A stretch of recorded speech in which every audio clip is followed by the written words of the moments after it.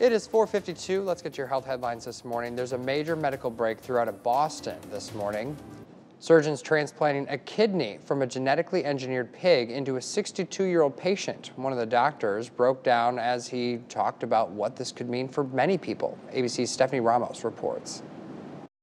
A groundbreaking milestone bringing hope to hundreds of thousands of Americans with kidney failure. It was truly the most beautiful kidney I have ever seen.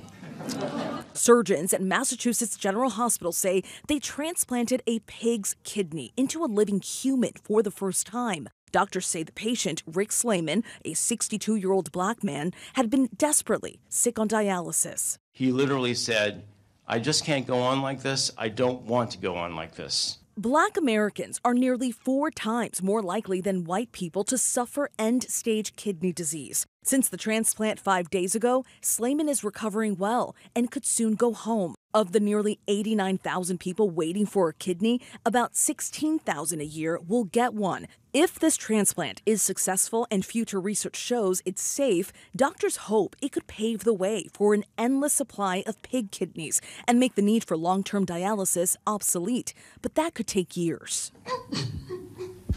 the leader of the transplant team today overwhelmed with emotion. I cannot think of a more dedicated team in, in the world, and I'm I'm honored to be part of it. Stephanie Ramos, ABC News, New York. So far, doctors say the patient's new kidney seems to be functional, but they will continue to monitor him. Our coverage of health news can also be found at WQAD.com. Just head to our website and you're going to find your health in the search bar at the top of our homepage.